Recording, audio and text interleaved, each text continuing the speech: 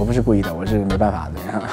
后来我的生活还算理想。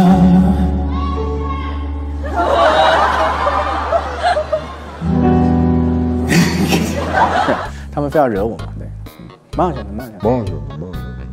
如果有粉丝在你的演唱会上大声的应援，会不会让自己觉得不好意思？我经常会有遇到这种情况，对，对，还蛮好的，还蛮好的。哥哥，你唱歌真好听！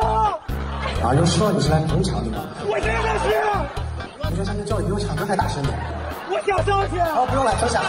荔枝朋友圈，我们就是推开荔枝台幕后神秘小黑屋的大 boss。在演唱会上遇到粉丝大声表白也游刃有余的薛之谦，在二零一九江苏卫视跨年演唱会上却遭遇了史上最尴尬表演。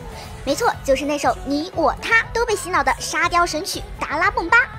那男人是整整个都很尴尬，因为整个都是假的嘛，都要自己去想象的，就是你要算好每一个点，就是你要跟那个洛天依去互动的那个点，对对对，就是现场的朋友们看，因为觉得我应该觉得我是有毛病的，对，但我也那个乐此不疲。我凌晨四点给薛之谦发微信，哦，薛之谦你在干嘛？薛之谦我在背词，他还在家里在床上背词哦，这词很难背，真的难背。头悬梁锥刺股，一直在背歌词。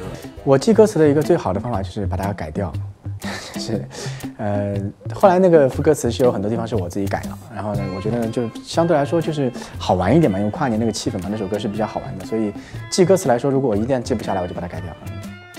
这次既能给观众带来欢乐，又展现 live 实力的演出，相信你也和小荔枝一样想要疯狂点赞。那今年的江苏卫视跨年演唱会，薛之谦会带来哪些惊喜？来一丝丝小剧透哦。啊，今年的难度比去年还要高，对我来说我都会觉得有点难，就是有点有点挑战，有点挑战，但是很特别，是我往常没有唱过的那种方式，就跟我第一次跟洛天依合唱那种感觉差不多，比他难度还要大。挑战更高难度表演，这也太令人期待了吧！小荔枝假装看不见你在卖安利，那能怎么办呢？谁让你的安利有点好吃？前排高亮提醒：十二月三十一日晚，江苏卫视跨年演唱会，你们的芊芊即将上线。